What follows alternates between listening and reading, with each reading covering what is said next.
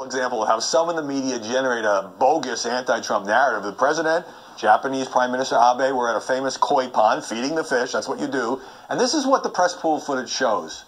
Just take a look. There they are, very polite, waving, feeding the fish. Now, a CNN headline said Trump feeds fish, winds up pouring entire box of food into koi pond.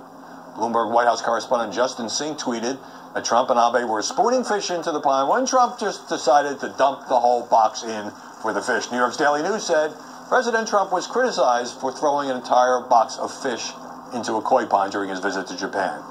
A major diplomatic incident, right? Except here's what the pool camera missed as it swung away.